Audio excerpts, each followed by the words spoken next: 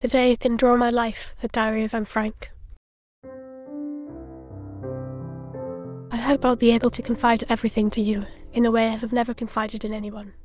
And I hope you'll be a great support to me. Anne Frank, June 12, 1942. Sunday, June 14, 1942. Friday was my birthday. I turned 13 I got this diary among other things. I celebrated with a party on Saturday. Although my best friend is Joe Peter Wall, and Sam have also been very good friends for 10 years. But since I changed schools, we don't see each other as much anymore. That Saturday, June 20th, 1942, I wanted to reflect on the purpose of a diary. Even though no one cares what I say, I want to write to take the weight off my heart. And that's because, although I have many people who love me, I feel lonely. I can't express who I truly am. That's why this journal will be my friend, and her name will be Kitty. Before we start, I'll talk about what my life has been like. My parents got married and my sister Margot was born in Frankfurt in 1926. I was born on June 12, 1929.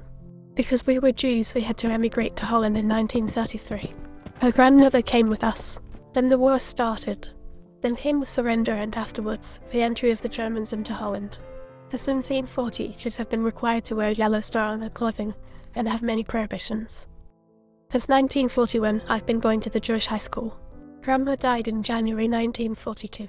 No one knows how much I loved her and how much I miss her. In short, the basis of our friendship has been established. Dear Kitty, I'm a good student, even though I was punished for talking once.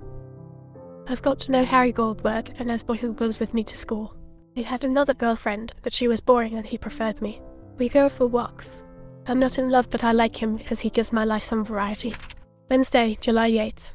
Dear Kitty, the other day there was a knock at the door, and Margot opened it. When she came to me, she was pale. They just summoned Dad, although they were actually summoning the whole family. We had to hide in a Van Down shelter. We put our most treasured possessions in school bags, and left early the next morning with several layers of clothes on. July 9, 10, and 11, 1942. Dear Kitty, the hiding place was in the building in Dad's office. Behind several stairs those rooms and corridors was our secret annex. The annex in turn was full of other rooms. When we arrived, Margot and Mom were exhausted, but Dad and I needed to tidy up and get the place to our liking. Now we await the arrival of the Van Daans. August 1942. Dear Kitty, on July 13th, the Van Daans arrived with their son Peter. I don't get on very well with Mr. Van Daan, or his son, who's a bore. They put a cabinet in front of the entrance door of our hideout to conceal it. September 1942. Dear Kitty, the first disagreements have emerged. That's the thing about living together. I find Mrs. Van Daan insufferable. She keeps her stuff locked up and has a go at me a lot. I've resumed my studies with Dad. I usually argue with Mom because we don't understand each other. I'm tired of everyone scolding me and treating me like a rude child. October 1942. Dear Kitty, I was terribly afraid yesterday. At eight o'clock the bell rang. I was scared, convinced it was them. But it must have been a beggar or the mailman. Lately there's been a chemist working in the offices of the building. That's why we spend our days not moving, so he doesn't hear us. Dear Kitty, I have only sad and depressing news. Many of our Jewish friends are being taken by the Gestapo to a large camp for Jews. We can't ignore that all those poor people will be exterminated. November 1942. Dear Kitty, I continue to be the focus of everyone's anger. It hurts me so much when Dad shows he loves Margot more, because he's my role model. On Monday, November 16th, Mr. Dussel arrived. Margot sleeps with Dad and Mom, and I sleep with Mr. Dussel. Although I don't like it, that's the way it is under the circumstances. Mr. Dussel seemed nice, but he has become the new teacher, and has joined the fray. December 1942. Dear Kitty, we've all celebrated Hanukkah and St. Nicholas. We all had little gifts besides lately. Mr. Van Daan has been making sausages for preserves in view of the difficult times. January 1943. Dear Kitty, from the window I can see the terror in the street. Families are separated and sent to camps. Children ask for food. Planes fly over the city to bomb Germany. February 1943. Dear Kitty, our building has been sold. The other day, the new owner came in with the architect. Luckily, Mr. Koophuis showed them the whole house except our annex, telling them that he had the key in his house. The atmosphere is still tense at the table. As for myself, the quarrels keep falling on me. March 1943. Dear Kitty, the other day we got a terrible fright when we heard knocking on the door. But they have heard us dead and Peter went to investigate, fearing of possible marauders. We had a hard time falling asleep that night. April 1943. Dear Kitty, all protectors are in delicate health. Your relationship with Mom is not improving. I try to find it hard to treat her with affection because of her reproaches.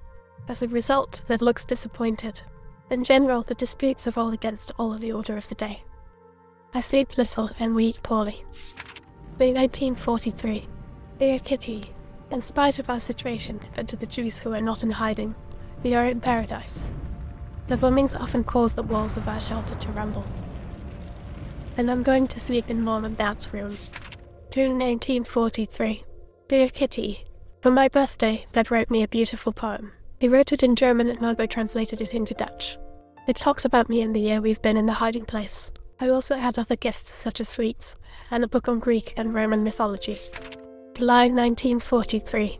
Dear Kitty, I've almost had a chance to go outside to see an optician because of my short-sightedness. Only my eyes will have to wait.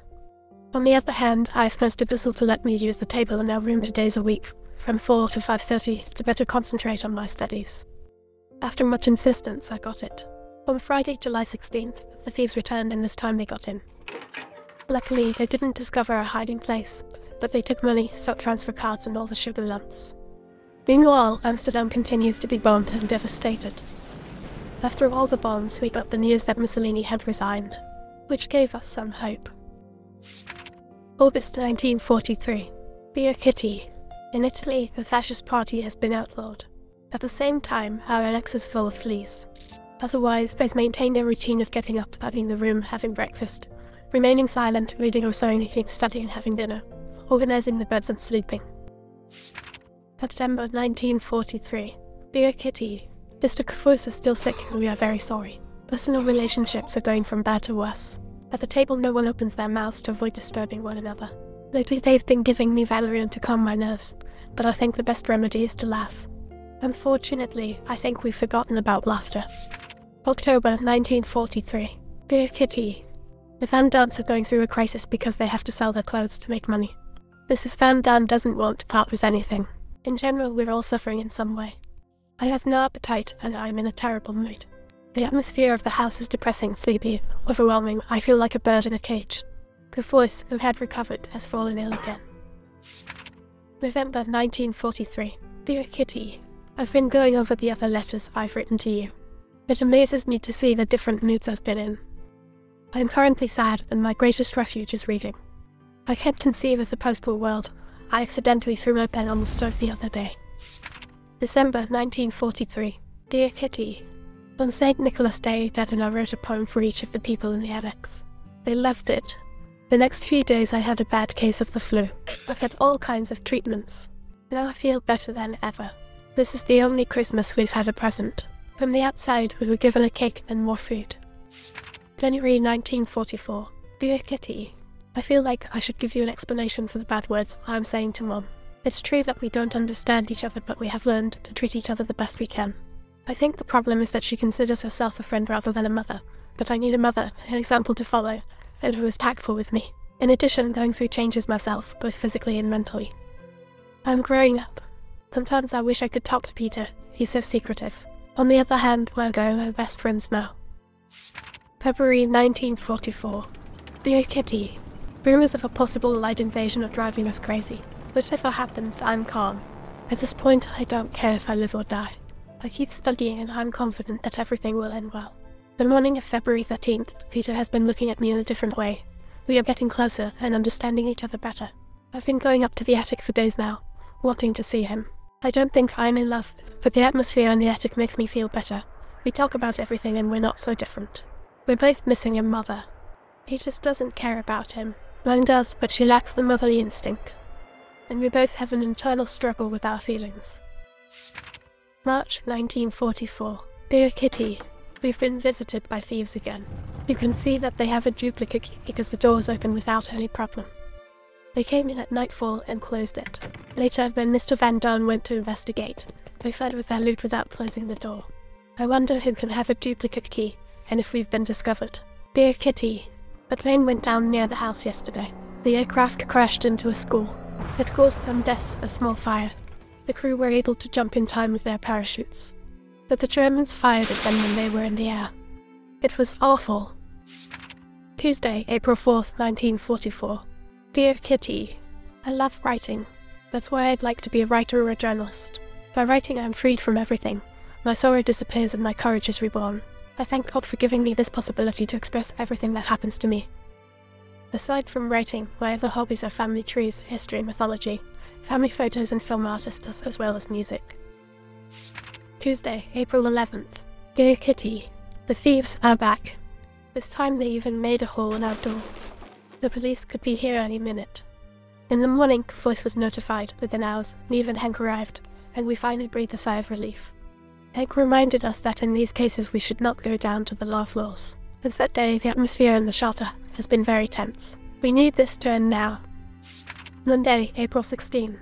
Dear Kitty, I had my first kiss yesterday. Last night at 8, I was sitting next to Peter.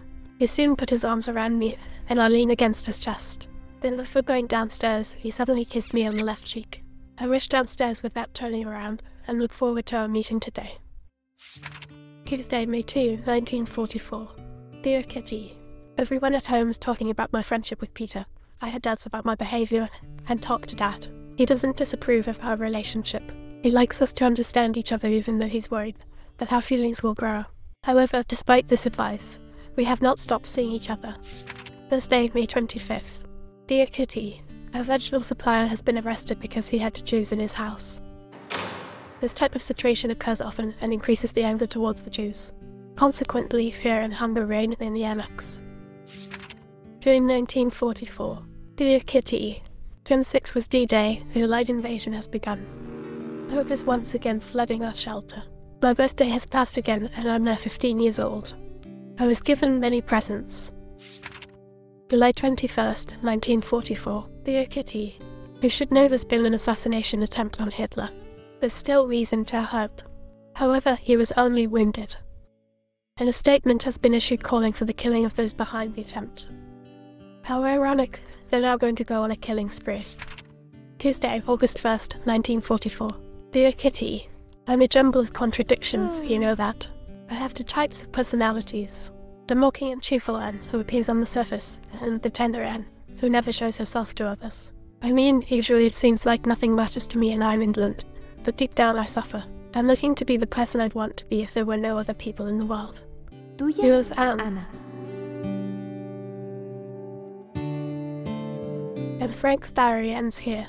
On August 4th they were discovered. And then Margaret died from typhus within a week of each other, in the Bergen-Belsen concentration camp in February 1945.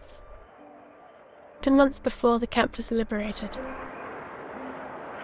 Did you know the story of Anne Frank? If you enjoyed it, please press like, and leave a comment saying what book you'd like us to summarize. Subscribe if you want to see more summaries like these.